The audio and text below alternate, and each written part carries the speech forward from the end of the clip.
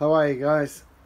Welcome back to Wargaming China, the free channel where I platform my understandings of the War of Resistance against Japanese aggression in China from 1931 to 1945. Now, I do this mainly for wargamers, modelers, and toy soldier enthusiasts, people who like a bit of obscure history.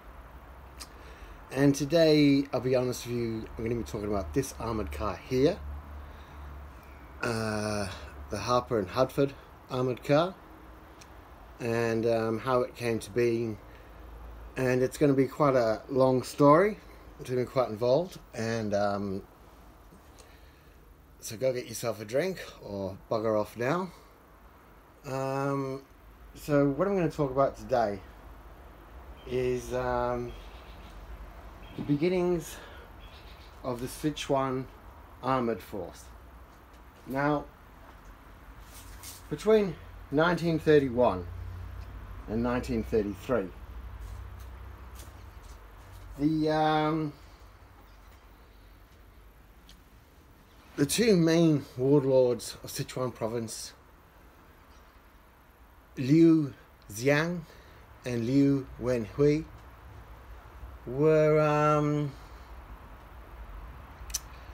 according to most literature, in partnership together, Liu, Liu Wenhui Hui being the uncle of Liu Xiang. Now, as I said, between 1931 and 1933, most books will refer to you, most Western references will refer to um, the Liu armored force or the Sichuan armored force. So they don't really make it clear which of the Lius the armored force is. So first off, um, I'm going to um, talk about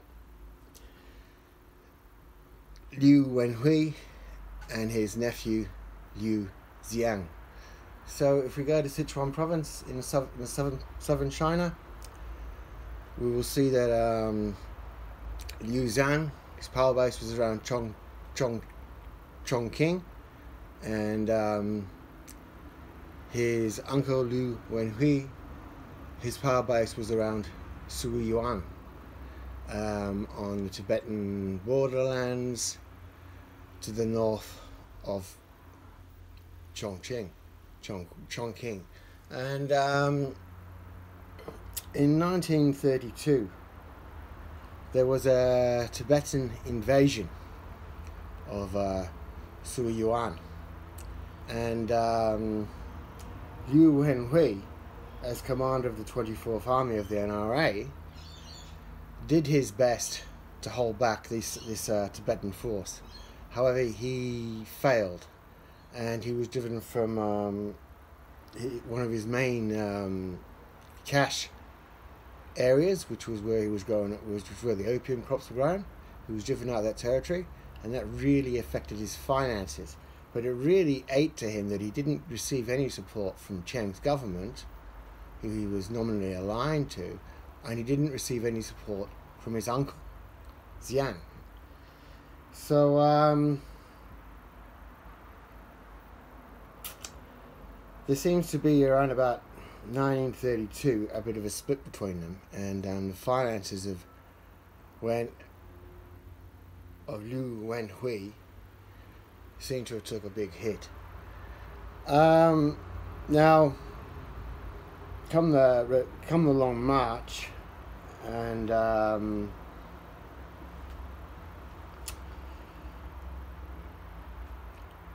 come the long march. Um, Liu Xiang's 21st Army was in fierce fighting around Xiaokuo village with Red Army forces. And um, Liu Wenhui with his 24th Army, who had been forced back, did not support Liu Xiang. So that's important because for me, I really feel that these armored cars should be it should be firmly stated that they did they weren't under the service of Liu Wenhui they were in the service of Liu Xiang. Now, I want to talk now about um, Ford in China. Now, um, uh, an, an Englishman by the name of um, Harper, after World War One, um, his family in, had a had a Ford dealership in Hong Kong, and he decided that it was time to um, push the business into China. And um, he set off in his Model T on his own through China. Throughout China, he travelled on his own. He must have had a hell of a. He must have been a very, um, very brave and resourceful character, but it was successful because within four years, Mr. Harper had um, secured the distributorship in China for his sole distributorship in China for his Ford, for Fords, and indeed, so prolific was Mr. Harper selling Fords that Fords weren't referred to in China as Fords; they were referred to as Harper cars. So, um, in 1931, when Liu Xiang wanted some uh, Fords to be to commence wanted some armored vehicles, some AFVs to commence building his uh, armored force. He would have turned to Mr. Harper because Mr. Harper had sold the had sold distributorships for Fords in that area. It must be said that Ford did open a dealership, an official dealership in Shanghai in 1928, but it was only in Shanghai and it's very doubtful that Liu, Liu Xiang would have gone all the way to Shanghai when he could have talked to his old acquaintance, Mr. Harper. Now, um, I just want to go on about the auto industry in um, in China. Now, Mr. Harper was so successful in pushing the auto industry, in, in pushing um, the acceptance of automobiles in China, that um, in 1923, um, Ford invited um, 100 Chinese students to come and study production techniques and facilities in America. And um, indeed, by 1924, uh, Sun Yat sen, as the um, president of the Republic of China, um, personally wrote to Henry Ford inviting him to come to China and start an, an automobile factory. Now, I'm going to read from the letter because it shows you, um, it gives you a glimpse of what a visionary Sun Yat sen was. So here we go. Here in China, you would have an opportunity to express and embody your mind and ideals in the enduring form of a new industrial system. He then goes on, I am of the view China may be the cause of the next world war if she remains economically undeveloped, thus becoming a subject of exploitation by Western powers. Now, Henry Ford never went to China, but in 1930 the Ford Motor Company just decided to explore the possibilities of a Ford factory in China. Now, they sent him Mr. Cowling, and it must have been very, very, very important to um, the Chinese government because um, in 1930 he was met by TV Soong, the head of the Ministry of Finance. Now, um, I've never really talked about TV Soong before, but um, anything that the government are taking seriously, whether it's a military offensive or um, a deal, TV Soong is the man that does it. He's the finance minister. He's the man that brings the cash.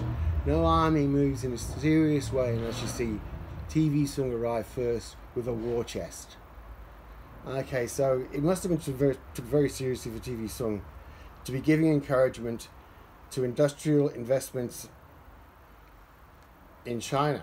However, Cowling also talked to American businessmen, especially miners in the mining industry, and they told him, look, as soon as you start to make a profit, the squeeze comes, and then the higher taxation, plus there's the bandits, and if you, if you can get past all of that, you've got to look at the communists too. And all of that made Ford think, mm, maybe Ford's future would not be so bright in China. And it wasn't, wasn't until 2001 that Ford set up a production line in China. Anyway, getting back to Mr. Harper. so Mr. Harper was quite a character and uh, a very astute businessman. And I'll give you an example of how astute a businessman was. Um, Mr. Harper was was in Yunnan, and um, he was trying to uh, negotiate a contract with, with Lung Yun's government for the purchase of Ford trucks. Now, um, during the discussion, aircraft procurement came up, and uh, Mr. Harper was asked, "Oh, what do you know about airplanes?" Well, he didn't skip a beat. By luck, he'd been reading an aviation magazine the night before, and he proceeded to just give it the full waffle. And when he left, he had he had he had secured that contract for twelve. Um, I can't remember the name of the aircraft, but for twelve uh, fighter fighters. Now, um, on returning to England to buy those fighters, to procure those fighters, within a year he was back in China. But within that year, he procured the fighters, organised a training program for Chinese pilots, and learnt to fly himself.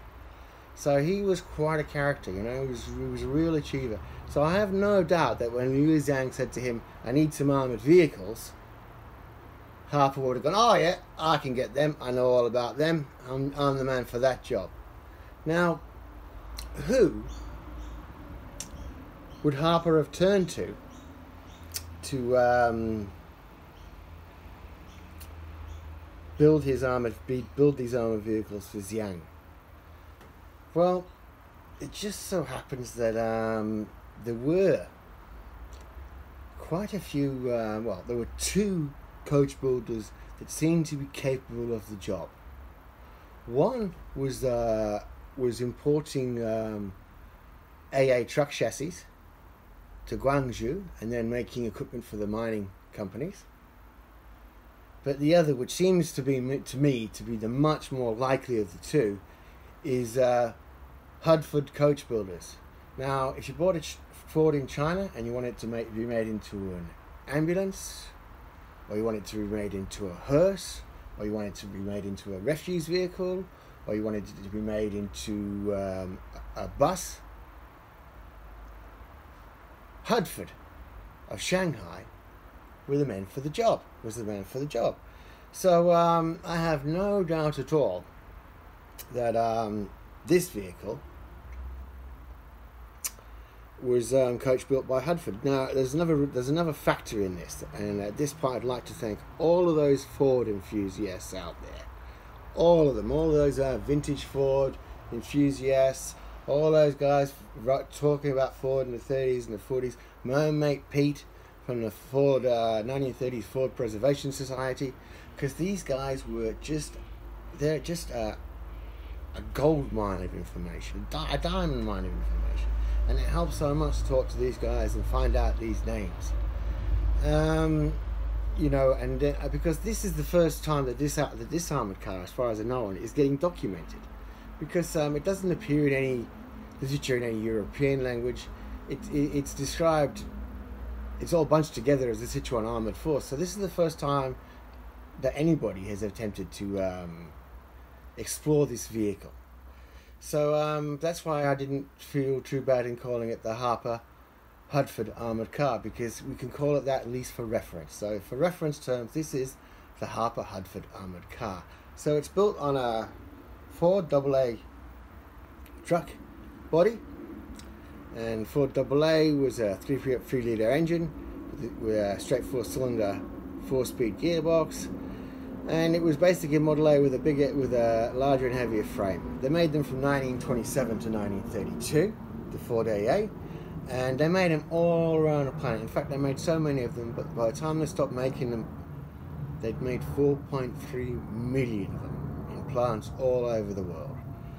So the Ford AA would also go on to become the basis of quite a few other armoured cars. Indeed, Ford's, when I, when I started my, to, to do the reading on this, many, many armoured vehicles have been put on Ford chassis. There's a company in uh, Ireland, the Thompson Company, that a family company that have only been uh, that have been armouring Fords for 80 years. So um, it's nothing new to make a, a Ford into an AFV. Um, now, what was the armament? Um, I, to be honest, I couldn't define a machine gun from the picture. I, this, this, this, this is a vehicle that I saw on a British Pathé News footage. There's six seconds of it. It's in a column with, um, like, it looks like a parade with uh, three like it and two of another sort, and it was knowing what the other one that was in the picture that let me know that this was indeed the Sichuan Armoured Force that I was looking at in the footage. So, um, the Sichuan Armoured Force, as I said, uh, Xiang had three, perhaps four of these commissioned. And what their armour was, we can't we can't tell. But going back to Hudford, um, look, they did quality work. You can see it. There's plenty of photos of their work uh, on cars, and if, in, in, fact, if you look at any Ford in China that's just not a standard body, it's probably a Hudford conversion, a Hudford coach build. They had big works. Um, so if you, I've, there's more to say. I've just got to remember it all, guys. Um, now.